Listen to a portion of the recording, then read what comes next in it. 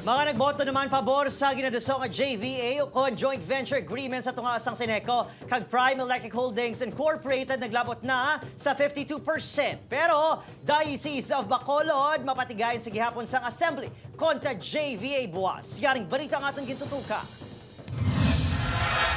Agud matigayon ng joint venture agreement sa tungasang Seneco kag Prime Electric Holdings Incorporated. Kinahanglan sang kabugusan nga 88,870 votes.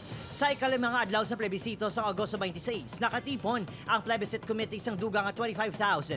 245 yes votes rason nga naglabot sa 92,807 ang yes votes ukon 52.21% sa masobra 170,000 nga eligible voters.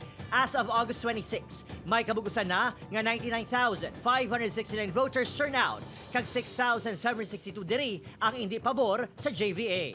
Ginabi-abi naman sa More Power Iloilo ang resulta sa plebisito. No, ang pinaka-purpose ang uh, JBA, uh, pabuligan no, ang Sineco nga baka uh, bayad sa iyang uh, pag, uh, mga kautangan kag uh, maimprobar uh, mapanami ang serbisyo sa elektrisidad man no, sa uh, uh, Bacolod kag neighboring cities and municipalities. Bisan pa, nalabot na ang target nga yes votes na tigayin gihapon ang plebisito sa Agosto 27. Wala pa man sang panugyan halin sa NEA kung mapadayon ang nabilin pa nga duha kadlaw nga binutuhay sa September 2 kay 3. Samtang, buwas, isang assembly ang pangunahan sa Diocese sa Bacolod, pinaagi sa Caritas Bacolod kag Social Action Center. May problema blang cooperative? Yes. Masulbar bala naton, matsa ko pwede. So tanan tani kita mag-take part sa sine. Kag hindi magpabakal. Ang publiko may magkatuhay ng ereksyon sa plebisito. Why mo ko naka-intindi sina pa? Naman.